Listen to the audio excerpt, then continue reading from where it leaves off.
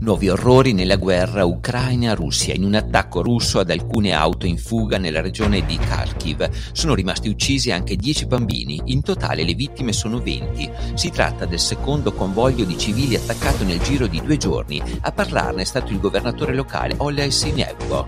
Mentre dei bambini rimasti uccisi lo ha riferito il capo dei servizi di sicurezza di Kiev, Vasily Maliuk. L'attacco sarebbe avvenuto nel distretto di Kupiansny.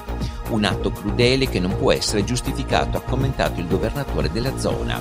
Sale intanto la tensione internazionale dopo che Putin ha sfidato il mondo annunciando con enfasi e retorica l'annessione dei territori ucraini occupati. Il responsabile della sicurezza statunitense Jake Sullivan prefigura scenari inquietanti e dice i militari americani in Europa sono pronti ad ogni evenienza.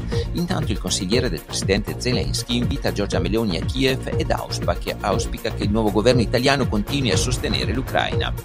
Altre notizie sul fronte di guerra. Il sindaco della città meridionale di Mikhailov ha portato sui social le foto degli appartamenti agli ultimi piani di un edificio residenziale distrutti dai missili russi lanciati sabato mattina sulla città ucraina.